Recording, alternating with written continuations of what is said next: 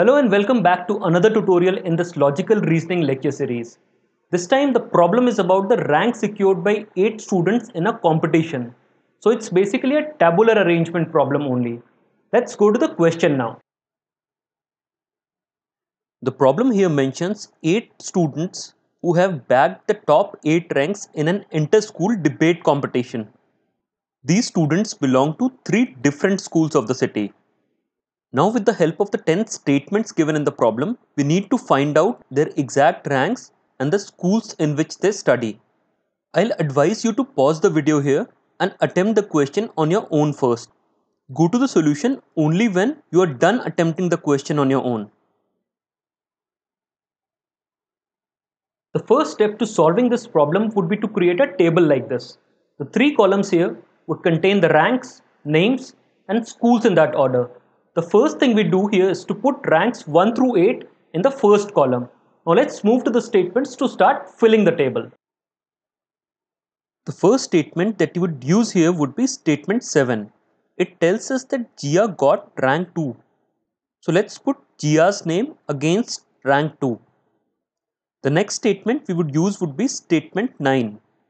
It tells us that Myra got rank 4 and that she studies in APS. So let's put Myra and APS against rank 4. These two statements gave us very simple straightforward pieces of data which we could put in the table very easily. Now we will look at statements that are slightly more complicated.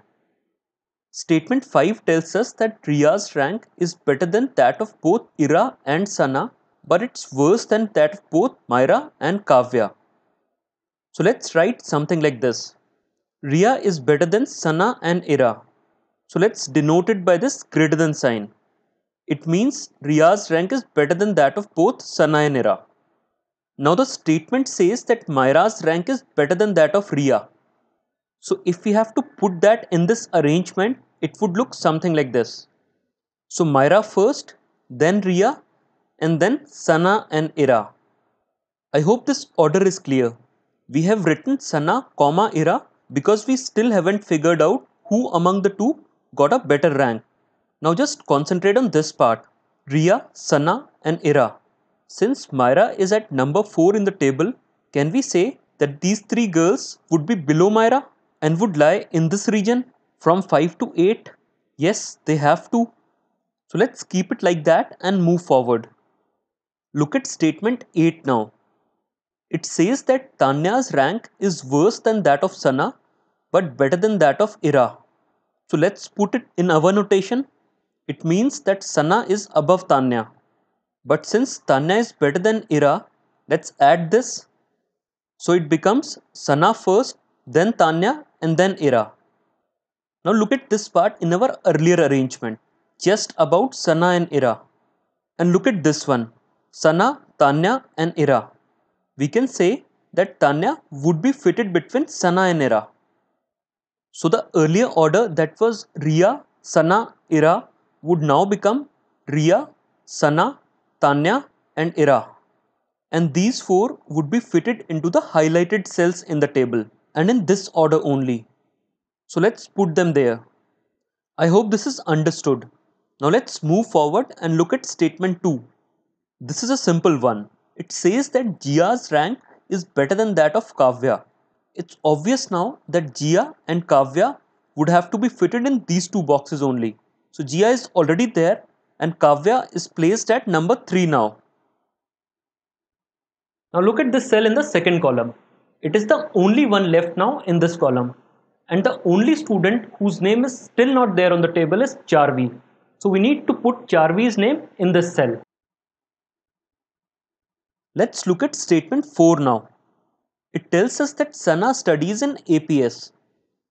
This is the cell corresponding to school against Sana's name. So let's put APS there. The next statement we use would be statement 6. It tells us that Tanya studies neither in KCM nor in VLP. In other words, they are telling us that Tanya studies in APS. So let's highlight Tanya's school cell and fill it up with APS. The next statement is statement 1.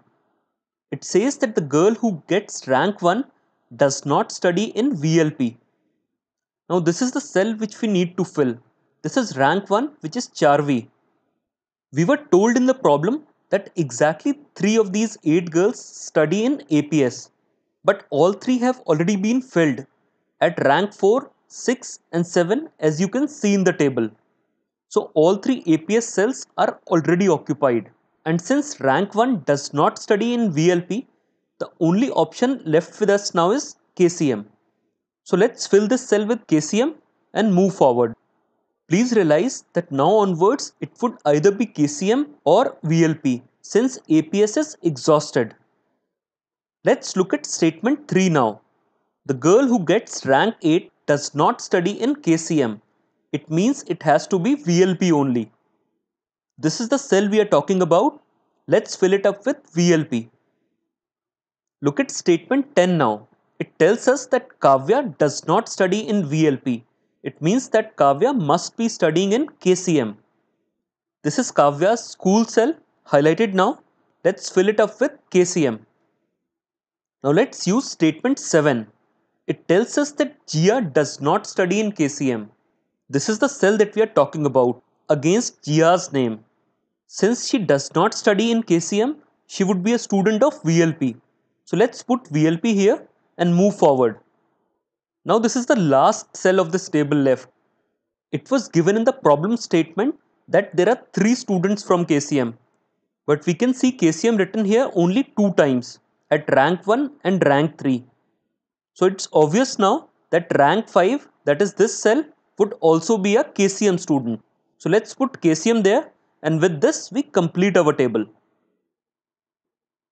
I think we could manage this one fairly easily. Our next problem would be again on tabular arrangement, but with much more data, which would make it slightly more complicated.